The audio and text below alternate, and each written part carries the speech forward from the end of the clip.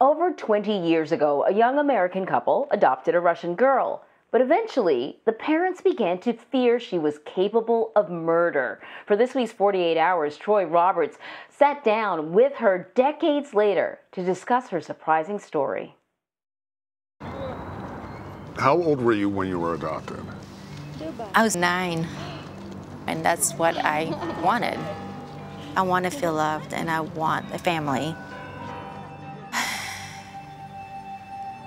Crystal and Jesse, we agreed not to use their last name, first arrived in Moscow, Russia in 1997 to adopt a girl they named Kara Carolee and a boy they named Joshua.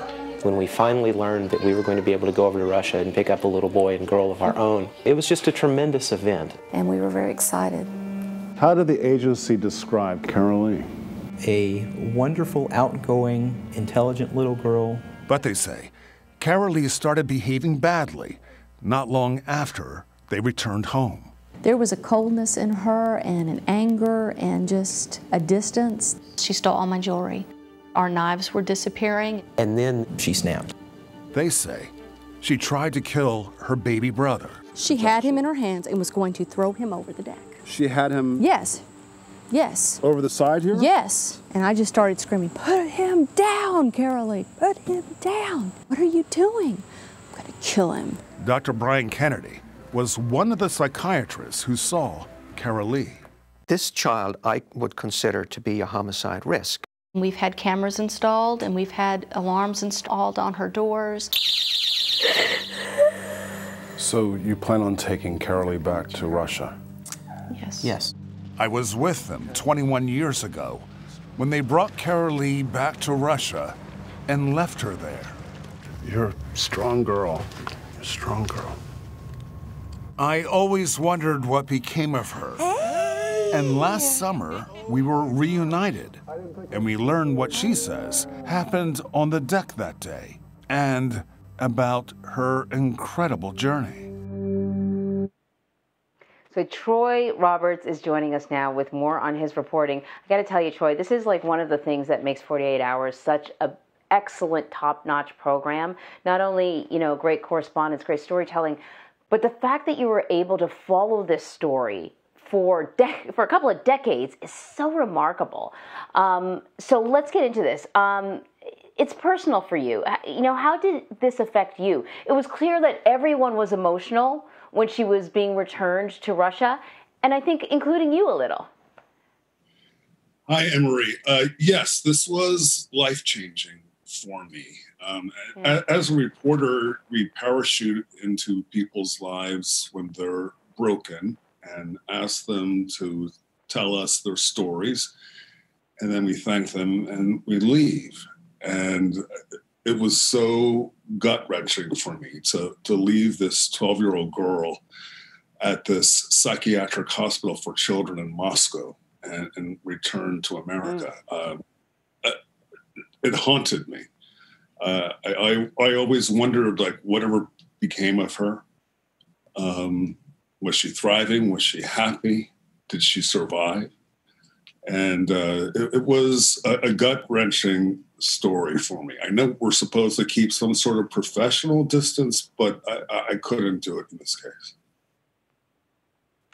Um, you know, I don't know what it's like in Russia, but certainly here we've heard stories of kids who are put into institutions and then they're they, are they are 18 and they're right out the door and they, they're they're not getting much support.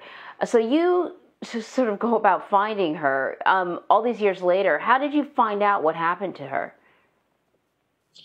Well, the last time I saw her in, in Moscow, I uh, got a hidden camera in a backpack and I, got inside the locked ward uh, because I wanted to show the conditions that she was left in.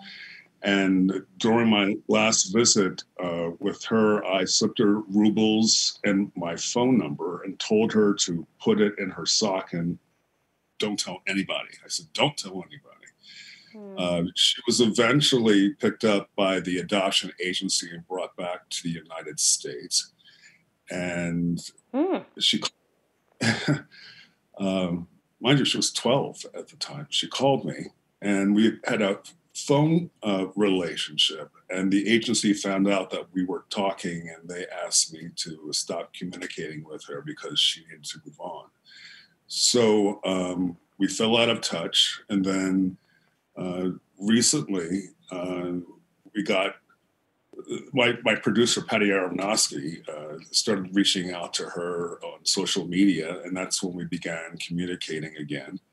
And last summer, um, I went to her home in North Carolina, where she is married to a lovely man, and she has four children.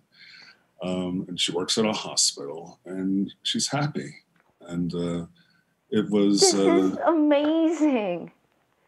It was amazing. And what, what's also interesting about this story is, you know, it was life changing for me personally because it set me on my own adoption journey. Um, I, as a single guy, I went to Djibouti, Africa, and adopted a four-year-old uh, street boy. Uh, he begged in the streets. He slept on the floor uh, in an abandoned house with his mother and a couple of other people. Uh, no electricity, no running water. And but when I saw him, I, I said, "This kid is my kid." Um, I just looked in his eyes, and his eyes danced, and which was a signal to me that he was smart, he was clever, and a little mischievous. Um, but uh, I, I adopted him. He he didn't speak English. My French and Somali was very poor, and so uh, we, we got through it in the initial days by miming. I would mime like eat or sleep or let's go. Um, and um, I became a dad. Troy, you're gonna make me you're gonna make me cry. This is a wonderful story, so much more than I expected.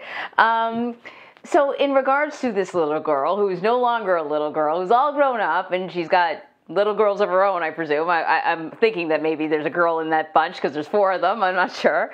Um, what's your take on her as a threat, as a danger? What did you think of her at, at the at, when you knew her at 12? And you know the woman that she is now. Is she dangerous? She doesn't seem like it. You know what? Um, she was depressed uh, when I met her as, mm. as a little girl, but I didn't see any violent behavior. Um, one psychiatrist said that she suffered from attachment disorder, which meant that she had the inability to love.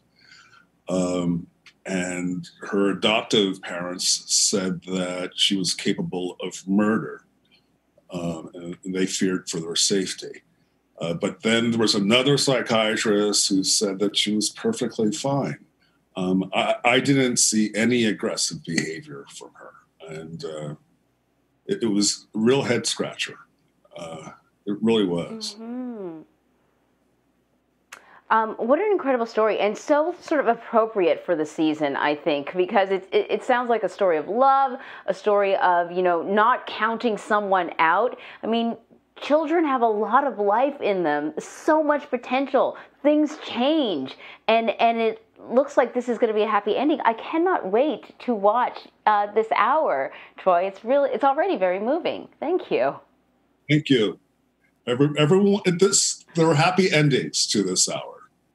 Everyone seems to have a happy. I ending. love that. Yeah. Yeah, because you know, 48 hours will keep you on the edge of your seat, and sometimes it's not so happy in the end. So this is this is the kind of ending that I'm looking forward to. Troy Roberts, thank you. Thank you. So if you want a happy ending, you can watch Troy's report, What Happened to the Perfect Child, on 48 Hours tomorrow night at 10, 9 Central on CBS and the Viacom CBS streaming service, of course, Paramount Plus.